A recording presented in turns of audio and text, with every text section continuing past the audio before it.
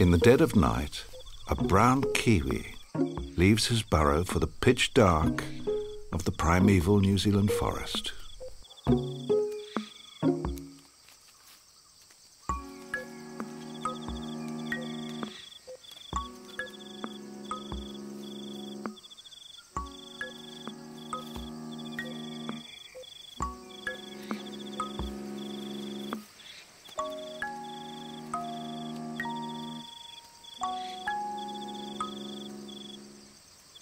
A kiwi is a most distinctive and peculiar type of bird.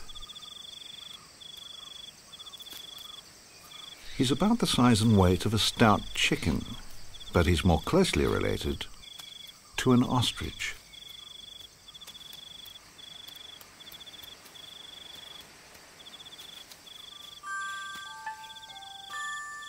To help them locate underground prey in the soil, kiwis are the only birds in the world to have nostrils at the tip of their bills. It's more like a snout, perfect for rooting around for grubs.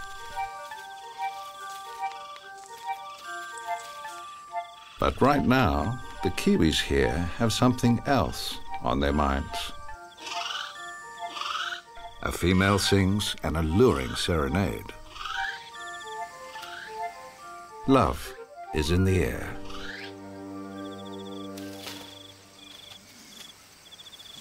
These birds are part of a habituated group, which means we can film intimate details of their private behavior.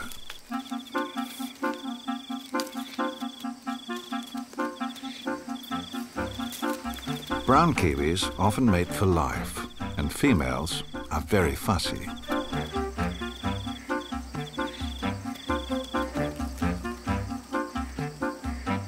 In kiwi couples, the ladies are normally the ones in charge, but he's happy to follow her around.